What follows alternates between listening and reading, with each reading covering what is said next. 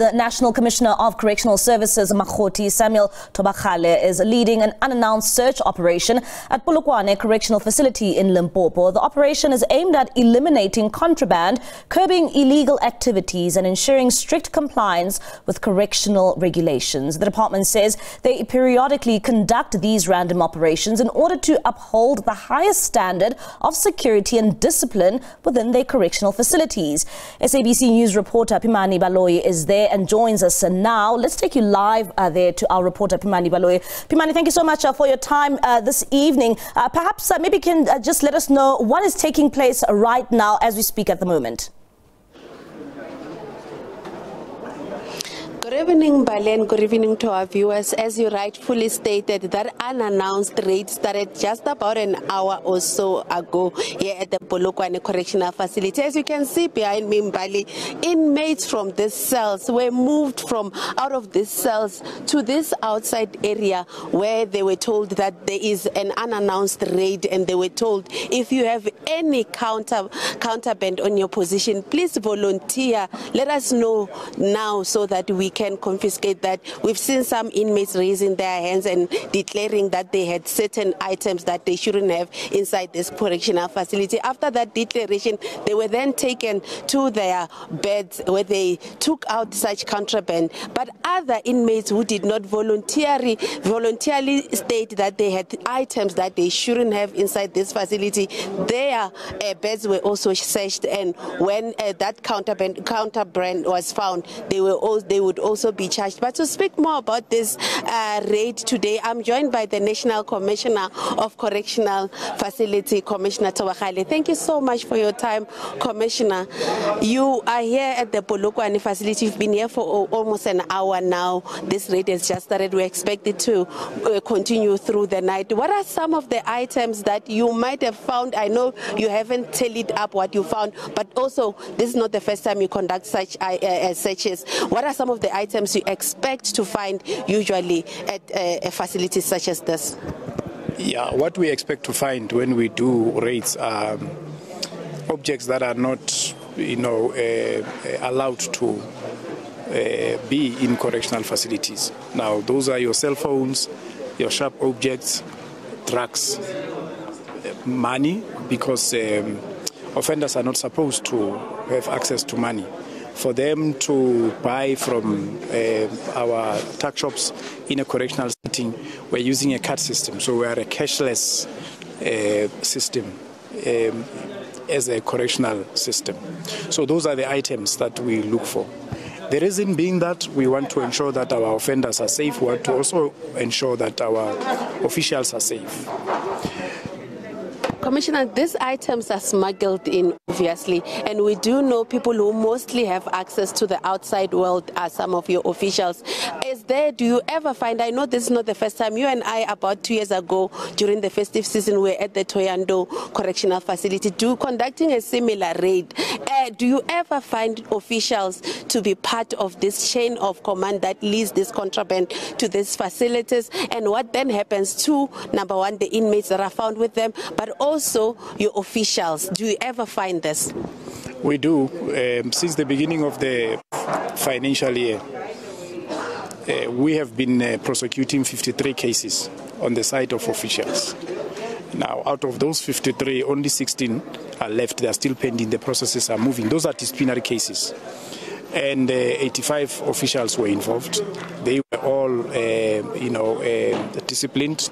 Out of that, that 85, 17 were dismissed. Okay. What we also do in terms of the Correctional Services Act is, is to open criminal cases with South African Police Service. The same we do with the with the, the inmates. We charge them. Now that goes on to their record basically meaning that some of the privileges that they are supposed to get access to get cut. We also reclassify them.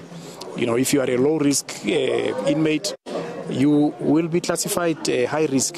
The security arrangements around you get tightened. Why? Because we want to ensure that a correctional setting is a safe correctional setting because our primary mandate is to uh, ensure that rehabilitation programs take place, correctional programs take place in a humane uh, correctional system, and contrabands uh, disturb that type of uh, uh, environment that we're supposed to, to work on. And they're also costly because it means now when you plan your daily movements in a correctional facility, you have to factor the fact that you have these sharp objects that might pose a, a, a security risk to officials and inmates. Talking about that risk, let's now talk about this unannounced visit.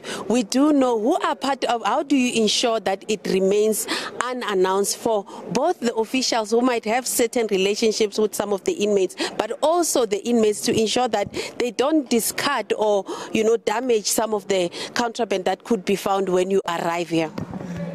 Well, firstly, we don't utilize security officers from the same correctional facility or management area. And we utilize also our specialized team, the emergency support team. And we also have a contingent of South African Police Service joining us. Uh, look, in instances where the, the word goes out, in as much as the, the, the inmates can try and, and hide, but we search each and every section, space in a cell we search each and every piece of their belongings. So, uh, for us, whatever they do, because some of the searches that we do are announced, they expect them, but we still find the contrabands, we still link them to officials, we still link them to, to inmates, and we continue to discipline them, and we remove the, the contrabands. And specifically looking at this facility, your, how do they reach this facility? How do you think, what has been the evidence in terms of how do they get here? Well, the, the first one, okay, let me talk to Polokwane Correctional Facility. It's a, it's a remand detention facility in the main, so you have more than 1,300 inmates that go to court. Now, as they come back from court, they bring these contrabands. We detect them in instances where our system, you know, does not detect them. We search and we remove them. Secondly, uh, the inmates are allowed to have visits from their family members on a weekly basis over the weekends. Family members also bring these contrabands, which is a risk uh, to our environment. And then thirdly, we have our own officials. Uh, unfortunately, officials you know, come to work on a daily basis where, where we are a 24-7, seven days a week at, uh, establishment. Now, that is a risk that we carry on a daily basis. So they also, some of them bring the contrabands into uh, correctional facilities. We detect them. And uh, as I've indicated, we, we discipline them. The reason why we want to expose these raids to the public is to also send a message and educate, you know, uh, the public to say don't participate in processes of bringing or smuggling contrabands into correctional facilities. If you have an inmate that is your loved one, a friend, a member of the family, and you know they have a cell phone, do not communicate. Actually, encourage them not to continue utilizing that cell phone. Let them surrender the cell phone. Uh, to us as officials of the department because in any case we search and we find the cell phone and it goes on to the record of this uh, inmate. It delays the correctional and rehabilitation programs. It also affects their chances of going out on parole.